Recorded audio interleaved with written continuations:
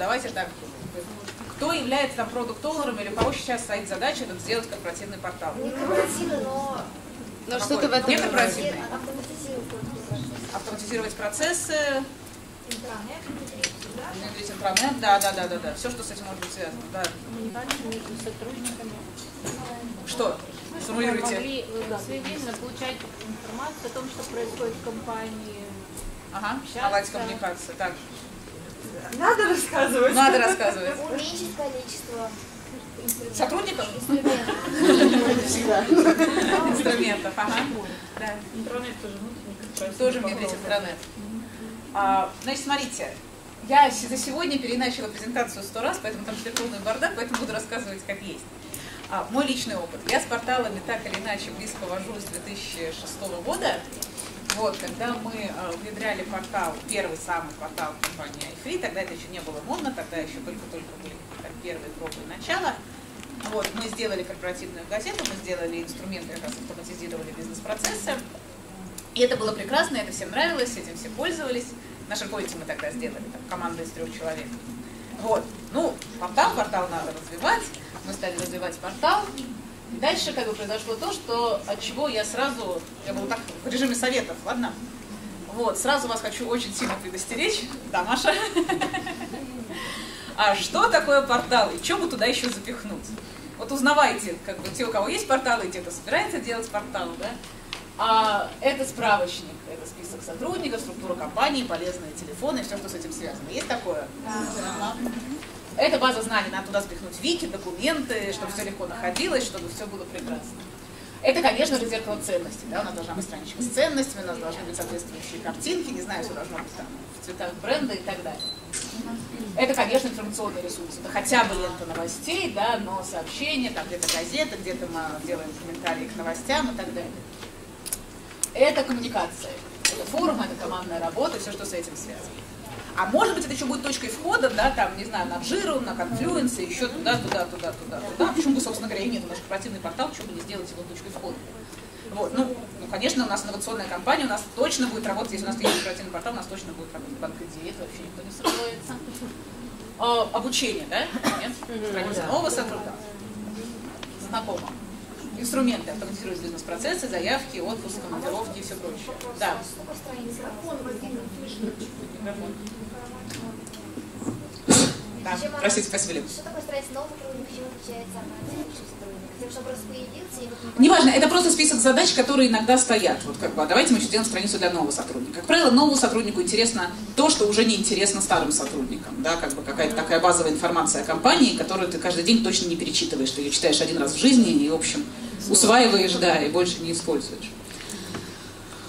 Я, собственно говоря, все это перечисляю-то не к тому, чтобы прорекламировать вам глобальный портал, а скорее наоборот. Сказать, что ничего таким образом, по моему опыту и по опыту компаний, с которыми я общалась, к сожалению, не получается.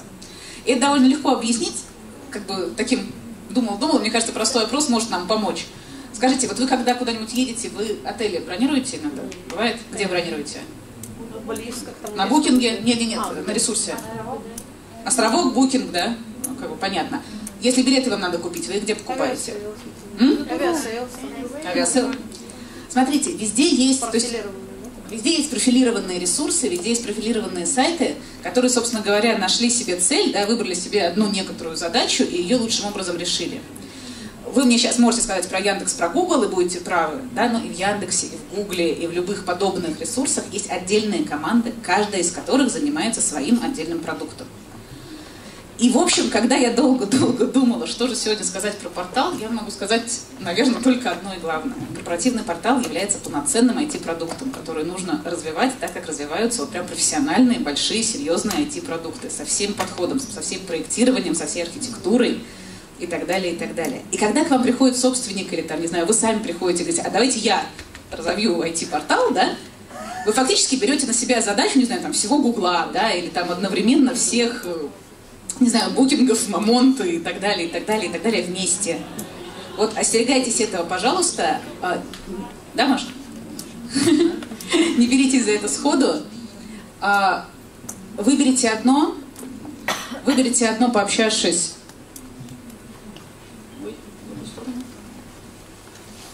с вашей целевой аудиторией. И это второй момент, который я хотела проговорить. А, Очень часто корпоративный портал – это либо ваш личный запрос, либо запрос собственника. При этом, как бы вы ни выбрали основную цель корпоративного портала, это почти всегда инструмент горизонтальной коммуникации.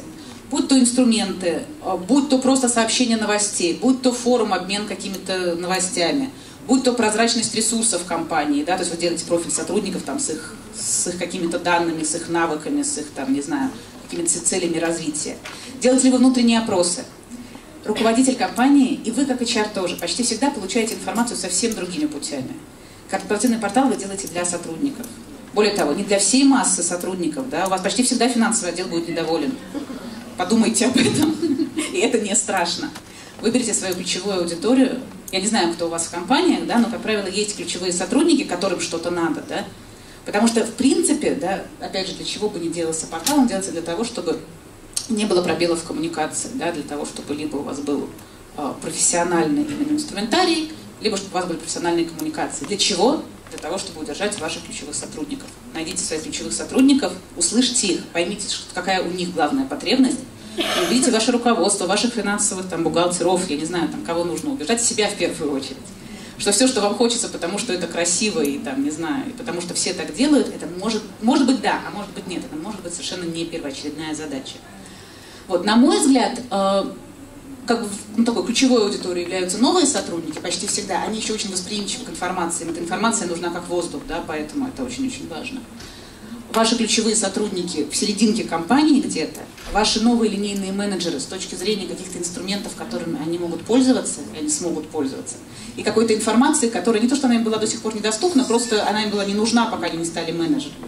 Да, вот те, кто недавно стали менеджерами, подумайте, какая там будь то база знаний, опять же, или будь то инструментарий, или будь то 360 какие-нибудь опросы, смотря что они запрашивают, смотря что им нужно, да, но сконцентрируйтесь на одной ключевой аудитории, из всего, всех хотелок выберите ключевую изначально потребность.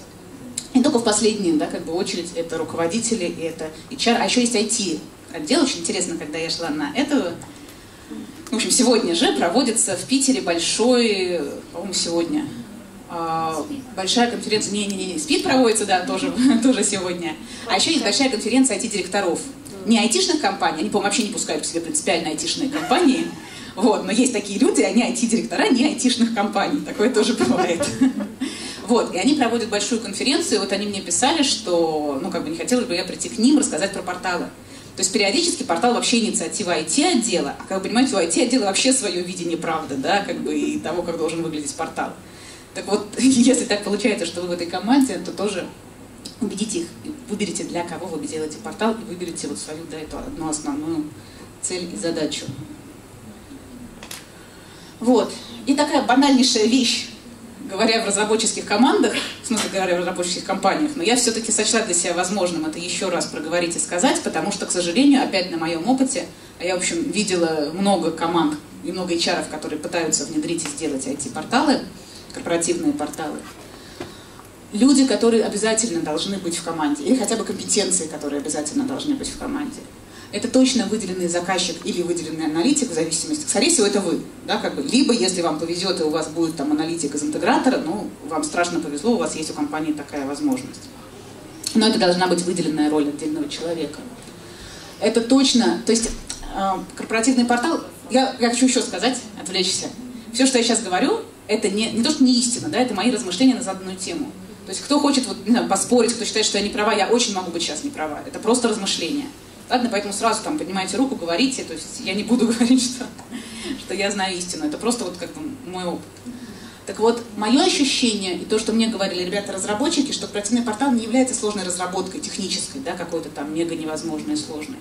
А вот с точки зрения проектирования, да, с точки зрения интерфейса, с точки зрения навигации, это мега сложная штука, потому что у вас в компании да, очень много, опять же, целевых аудиторий разных, разных потребностей, разных уровней знаний.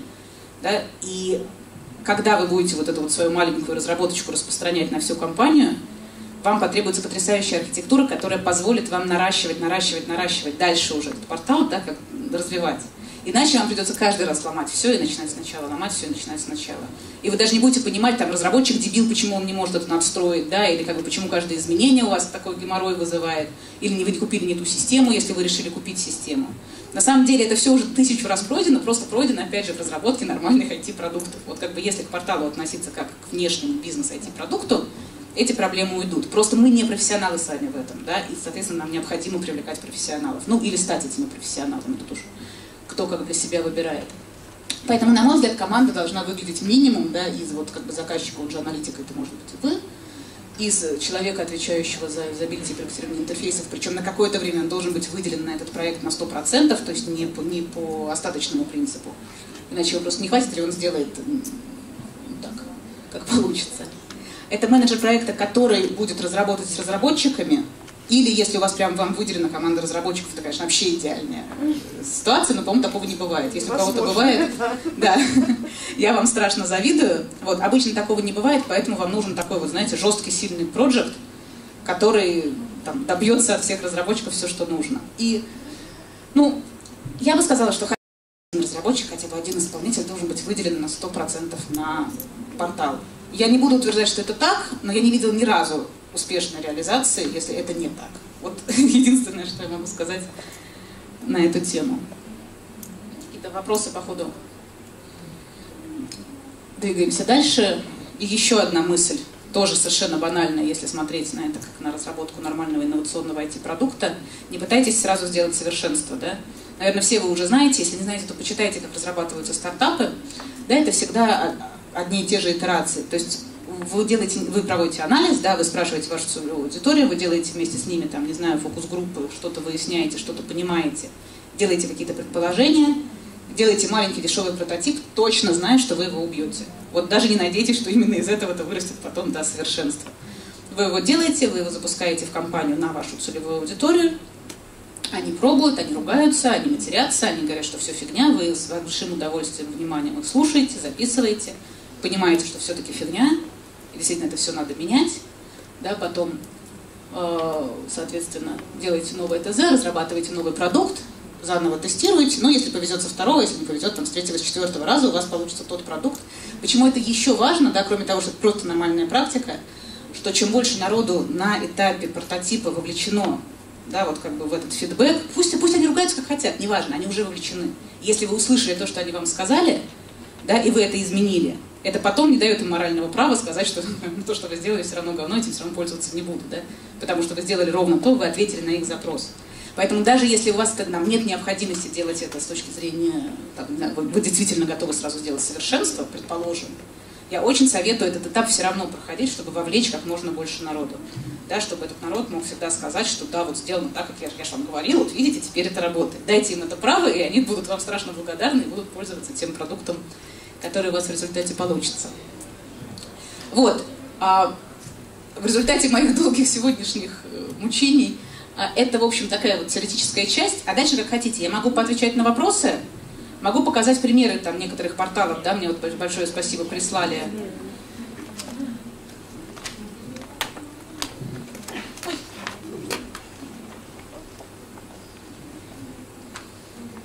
А, это давайте так, по, это еще такой шаг в моем опыте между а, после iFree. В iFree мы сделали корпоративный портал. Это стандартный портал на SharePoint, плюс-минус. Вот. А, мы сделали портал, который, который Microsoft нам посоветовал продавать потом вовне на рынок.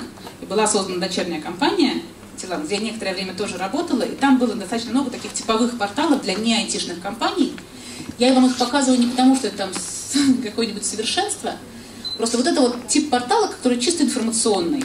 Он работает, он живет, у него точно должен быть контент-менеджер, который занимается наполнением, да, как бы, ну, либо некий там журналист, который занимается наполнением.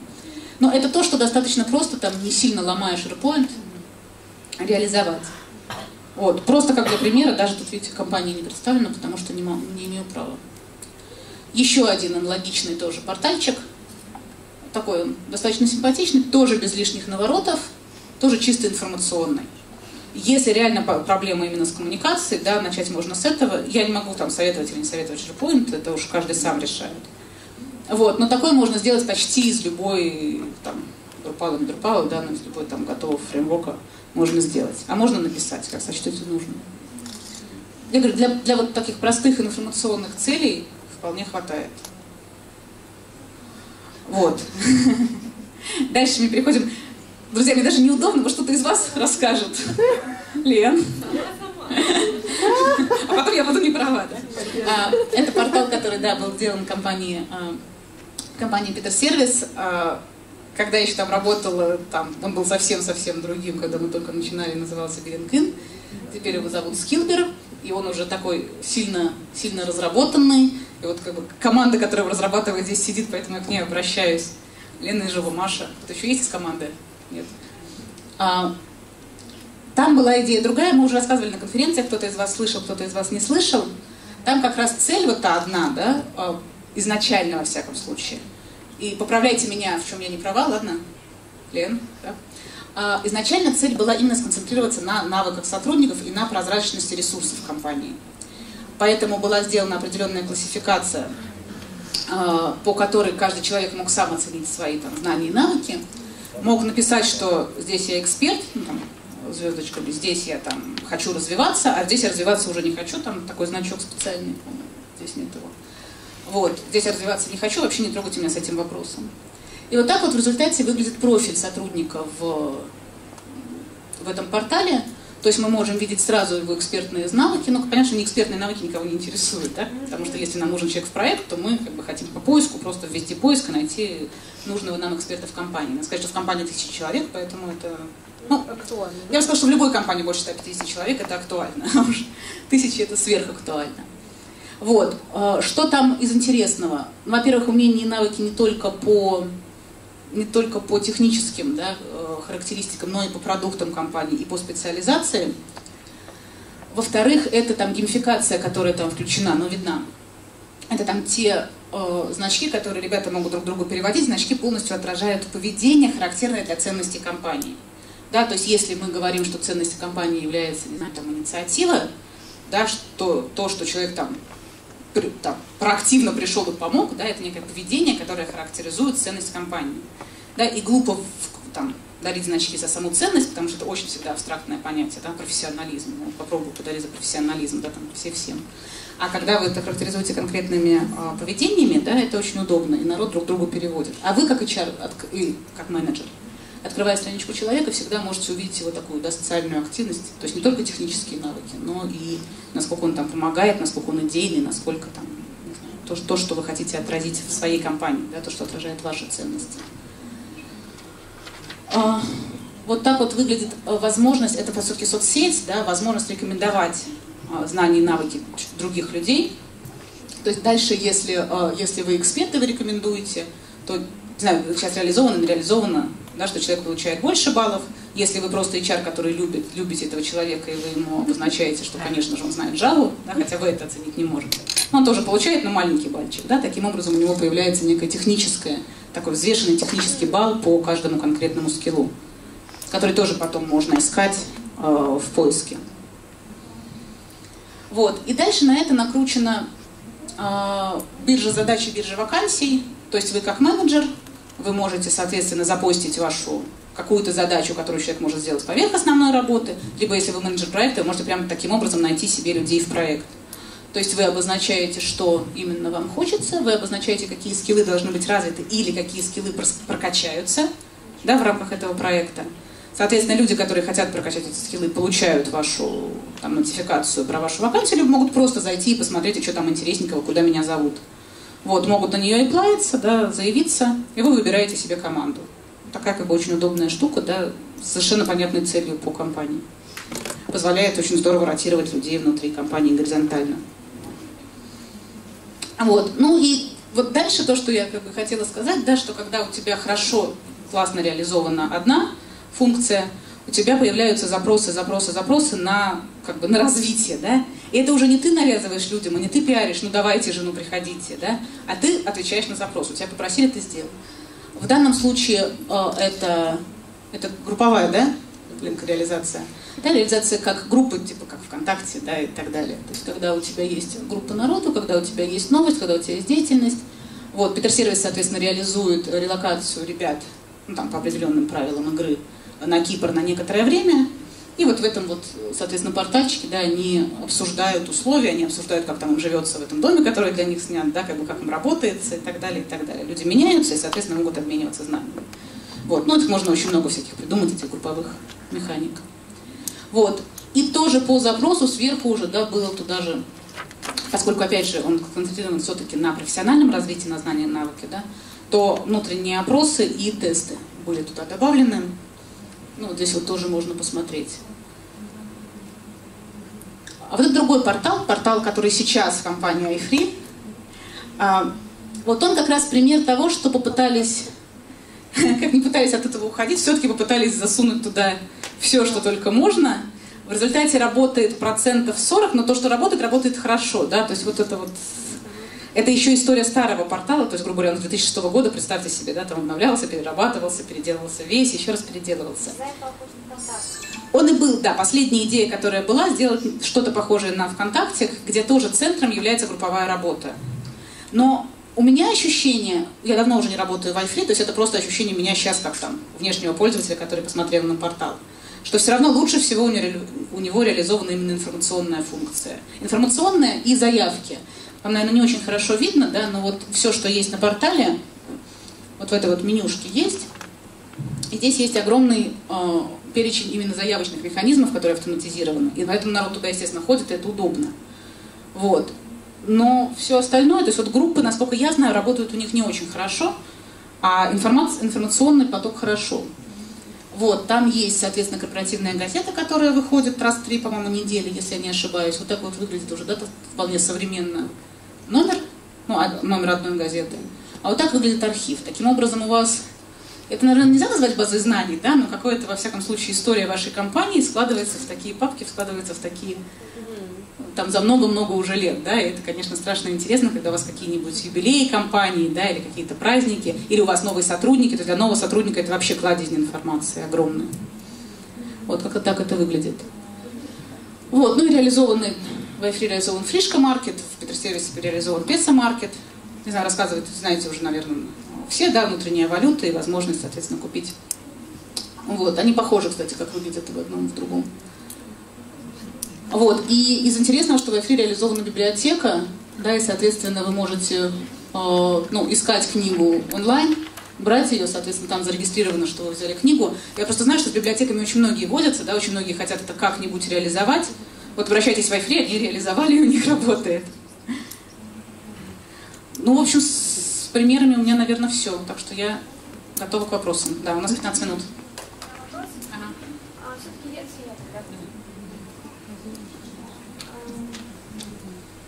Все-таки это портал не обыкновенная информашка, да, а более-менее масштабная. А как вы считаете, как эффективнее делать это внутри компании – или отдавать кому-то с определенными рисками, если мы отдаем это затраты э, вовне, это безопасность страдает наша, да, а если мы отдаем внутрь, это затраты вот остаточный принцип. Как эффективнее? Если у вас есть сильный проект менеджер внутри, я бы рекомендовала, а? Я бы рекомендовала отдавать вовне тогда, да, но обязательно иметь внутри человека, который будет технического человека, айтишника, который будет все равно за все это отвечать. Бесконечно долго, да. Контент-менеджер и технический человек нужны обязательно.